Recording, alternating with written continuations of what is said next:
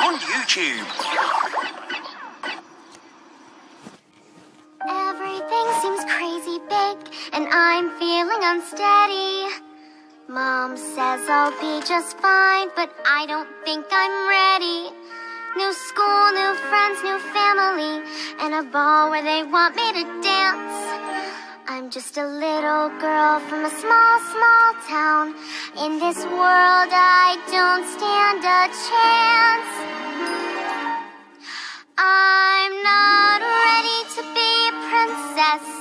I don't have what it takes. I'm too short for gowns. I look bad in crowns. And I'm gonna make a bajillion mistakes. I'm too average to be a princess. I respectfully refuse. I don't know the rules. I don't want the jewels. And these feet were made for comfortable shoes. Shelves bursting with trinkets that I'm afraid to touch. Fancy toys and ginormous so much too much. Too much. I'm not ready to be a princess.